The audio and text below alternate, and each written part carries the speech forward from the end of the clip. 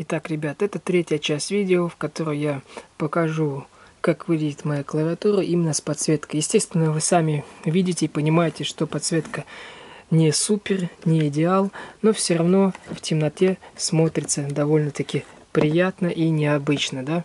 Как бы э, это не казалось странным, но корпус кое-где просвечивается, да? Вот, а в будущих своих проектах я буду стараться создать клавиатуры с более красивым корпусом. Я буду создавать клавиатуры с новыми раскладками.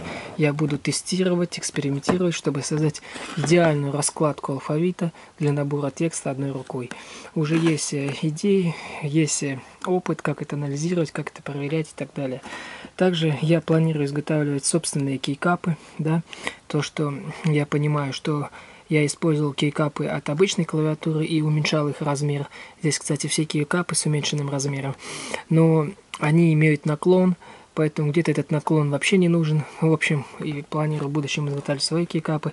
Также я понимаю, что нужно сделать э, более тонкий корпус. Также я понимаю, что нужно делать э, переключатели с э, маленькой высотой, то есть это очень важно, чтобы высота была низкая, то есть будем э, все делать компактно, потому что все это влияет, да, все это влияет. Одно дело, когда ты сидишь и сверху ложишь руку, другое дело, когда ты сидишь за столом, то есть все влияет, я все буду учитывать, все буду совершенствовать. Также буду совершенствовать и изготавливать вот такую вот подложку, потому что она должна быть тоже не просто прямой, она должна быть изготовлена по ладони человека. То есть, видите, вот эти ямки, вот эти вот изгибы, она должна быть именно отлита по вашей ладони. Тогда будет это максимально идеально и комфортно.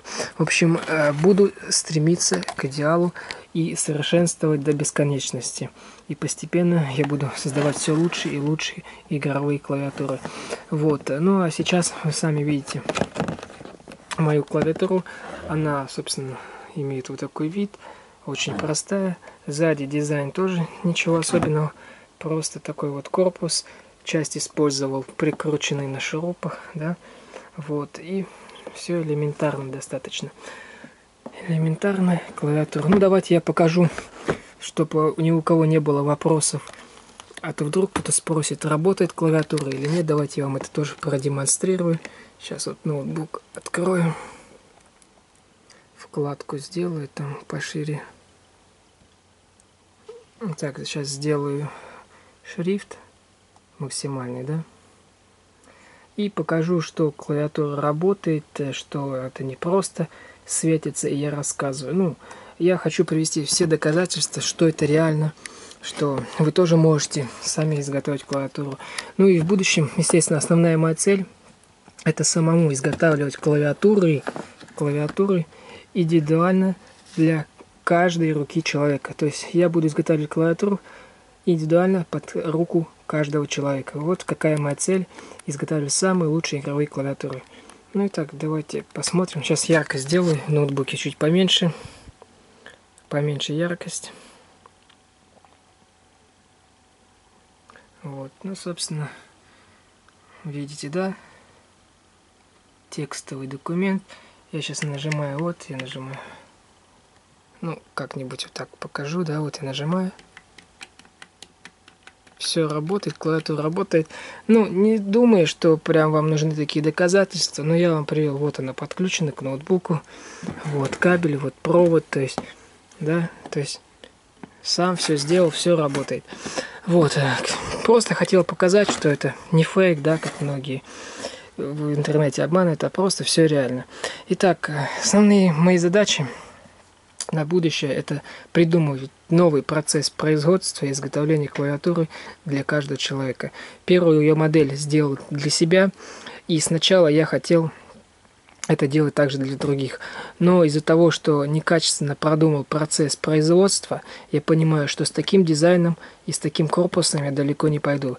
И это будет стыдно изготавливать такие клавиатуры для других людей с таким корпусом. Поэтому я сейчас буду работать над дизайном, над корпусом и другими деталями, чтобы в будущем э, в своем стартапе, в своем деле я мог изготавливать хорошие, качественные, приличные, достойные клавиатуры для киберспортсменов, и для игроков-профессионалов.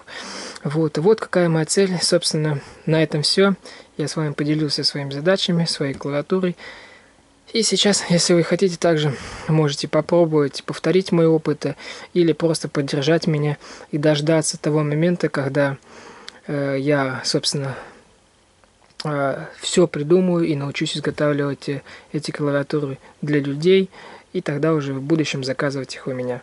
А на этом все. Это была третья часть презентации. Всем пока.